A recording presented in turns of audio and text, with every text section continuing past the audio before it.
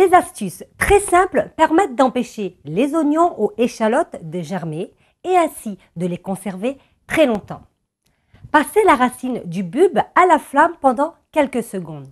Votre oignon ne germera pas et se conservera plus longtemps. Vous pouvez aussi les placer dans une boîte de polystyrène. En effet, les oignons doivent rester au sec et surtout ne pas être en contact avec la lumière du jour. Cela vous permettra de les garder beaucoup plus longtemps. Et enfin, une autre astuce qui consiste à éplucher une grande quantité d'échalotes ou d'oignons, d'enlever les germes dans un premier temps et les rincer. Pour les oignons, on peut les émincer et pour les échalotes, on peut les mettre entières.